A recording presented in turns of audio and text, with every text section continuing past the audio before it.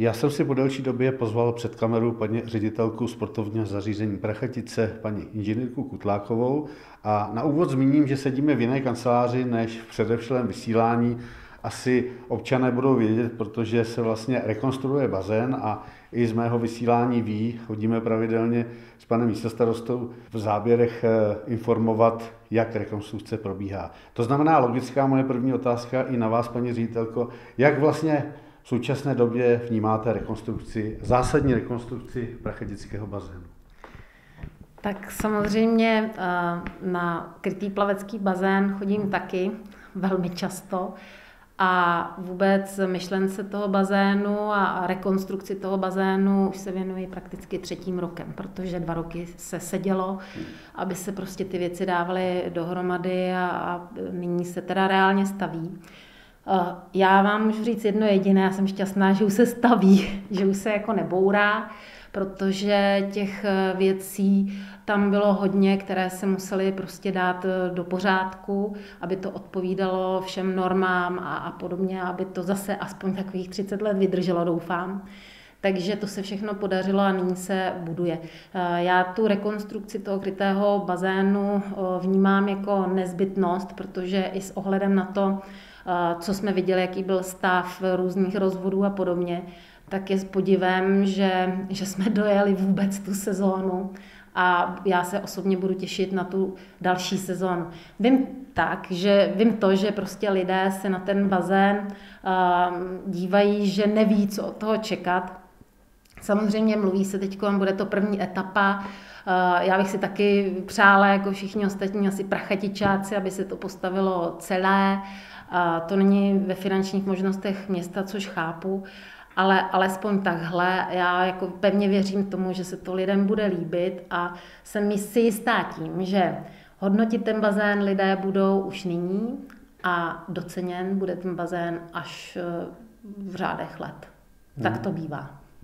Tak, krásná vaše odpověď, možná logická otázka, ta druhá také souvisí s bazénem, protože předpokládám, že i v letních měsících ještě bazén nebude hotov nebo rekonstrukce a on bývá stejně odstaven. Eh, neuvažujete vzhledem k tomu, že vlastně i v květnu, v červnu nebudeme moci navštívit bazén, eh, neuvažujete o tom rozšířit nějak eh, třeba provozní dobu na veřejném koupališti Hula? My jsme tak učinili už v loňském roce, když se bazén zavíral a bude to tak i letos, že prakticky ten hulák začneme připravovat, jak sleze sníh, prostě někdy, jestli sleze v dubnu, tak prostě v dubnu a samozřejmě musí se napustit, pak udělat vzorky. My jsme takovou předpřípravu udělali v podzimních měsících, kdy naši pracovníci, kteří normálně pracují na krytém plaveckém bazénu, tam natírali, malovali a takové úpravy dělali, kam finančně dosáhneme. Takže samozřejmě, jestli bude počasí vhodné ke koupání, výjdou dobře vzorky, tak ten hulák otevřeme, jak jen to bude možné. Takže dovedu si představit, že to může být i v květnu tentokrát. Eh, v loňském roce jsme i ten hulák přihřívali, což si myslím, že lidé i zaznamenali, což budeme dělat eh, i letos. A pak samozřejmě velká neznámá, kdy se krytý plavecký bazén otevře. Jo, takže v tomhle směru musíme, musíme být připraveni na všechny eventuality, i na to, že pojedeme třeba souběh dvou bazénů, ale to v tuhle chvíli já osobně nedokážu říct. To je otázka na někoho jiného. Samozřejmě důležité u veřejného koupaliště Holák je počasí. Lodní bylo velice příhodné pro koupání, venkovní koupání. Máte objednáno počasí letos? Jak to bylo vlastně loní? Byla rekordní účast? V loňském roce jsme fakt zaznamenali rekord huláků v návštěvnosti. Bylo prostě 25, téměř 26 tisíc lidí. Prostě bylo, ta návštěvnost byla extrémní. Samozřejmě fakt za to může počasí. Já vidím sama, že i když ten hulák nahříváme, nenahříváme, eh, dělají se tam akce a podobně, tak prostě, eh, když je třeba kolem 23-24 stupňů, tak ty lidi se tam jdou maximálně opalovat. Prostě pak tam nejdou. A v určitou dobu, třeba koncem srpna, už tam začne být stín a ty lidi chodí domů. Jo. Takže Ehm, takže ta návštěvnost je odvislá na počasí a to počasí v loňském roce bylo extrémně eh, krásné, takže ta návštěvnost byla taky skvělá. My natáčíme v zimních měsících, to znamená, já se zeptám na současnou situaci ve sportovním zařízení obecně. Je vytíženo logicky spíše uvnitř? Samozřejmě.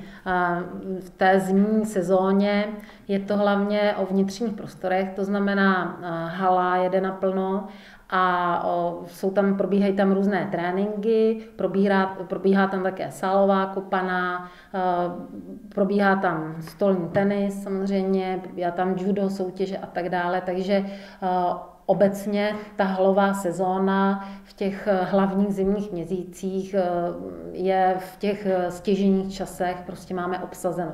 Co se týká umělé trávy, to je druhé sportoviště, které samozřejmě je využíváno tak eh, od konce ledna přes únor, březen tady prakticky máme nahlášená soustředění, takže ten život probíhá tak, že chlapi správci vemou traktor, když nasněží, tak tu celou plochu musí samozřejmě prohrnout, musí to připravit, tak aby prostě ty sportovci mohli sportovat. A viděla jsem teda šlápoty i na běžecké dráze, na atletické, takže ať sněží nebo nesněží, tak furt se běhá. Takže zaplať pámpu za to. Možná jedna otázka, která asi není úplně příjemná, možná ani situace pro vás. V poslední době se hodně mluví o tom, že se vlastně uvnitř areálu sportovního pohybují někteří lidé, kteří vlastně tu nemají co dělat. Dá se to nějak řešit, nebo je to, je to problém? Je to prostě velký problém, protože máte tady dva tábory. Jeden tábor sportovců kteří tady sportují a opravdu sportují, si přejí, aby se tomu dal nějaký řád a aby se všechno zavřelo, protože se obávají toho, že s ohledem na to, jaké investice tady proběhly, že se to rozbije a ani nikomu určitě není příjem, když běhá, když holky třeba běhají po atletické dráze a porvávají na ně prostě osoby, které si posílejí alkoholem a vůbec tam nemají co dělat.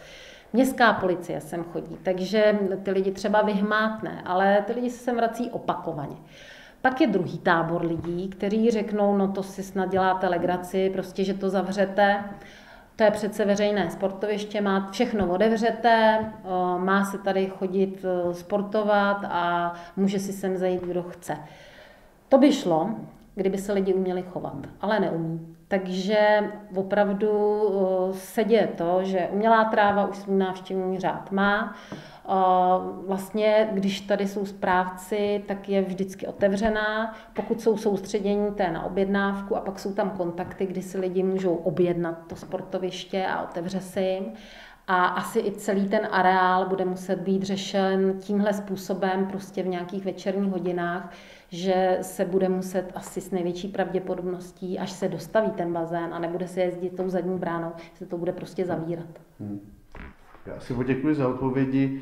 Na závěr, vím, že jste ředitelkou zhruba 4,5 roku, to jste mi před chviličkou prozradila, a já se zeptám, pokud se ohlednete a vnímáte současnou situaci, jak vidíte těch 4,5 roku, jak, jak je vnímáte a co pro vás ty čtyři a půl roku znamenaly, anebo momentálně znamenají? Tak samozřejmě čtyři a půl roku to v životě lidským je to nic, ale mě ta práce baví. Takže když se otočím dozadu, tak prostě uh, už když jsem se hlásila na tu pozici, tak jsem nějakou představu, uh, co bych chtěla. Něco z toho se splnilo, něco ne. Uh, někde jsem udělala chybu, někde ne ale když se otočím zpátky, tak eh, mým cílem je, aby se ta sportoviště nějakým způsobem naplňovala. Proto jsme i s, třeba s tou organizací ČUS eh, pořádali tu akci Pojď si vybrat, co tě baví, která mimochodem bude v letošním roce eh, ve dnech 10. a 11. června aby ty mm, kluby udělaly nějaké nábory a s těma dětma nějakým způsobem pracovali. To se docela povedlo a musí mít na to samozřejmě všichni sportovci zázemí. Takže uh, domnívám se, že zvlášť v letošním roce se to teda opravdu sešlo, nebo v tom loňském, kdy ty investice sem proudily uh, opravdu významné. To si nikdo neuvědomí, i když se pohybuje po jiných sportovních zařízeních, tak my jsme měli fakt jako, jako sportovní zařízení kliku, že ty peníze sem prostě opravdu šly.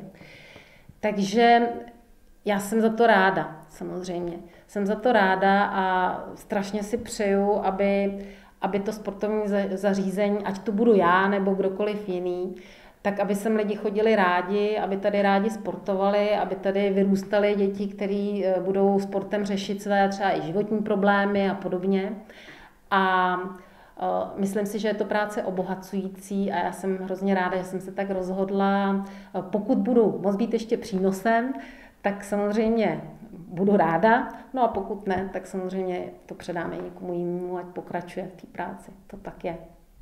Ještě jednou děkuji a někdy příště se těším na viděnou, na a samozřejmě přeji, aby se všechno podařilo, především s bazénem, a aby se vám samozřejmě práce dařila. Děkuji, děkuji moc krát.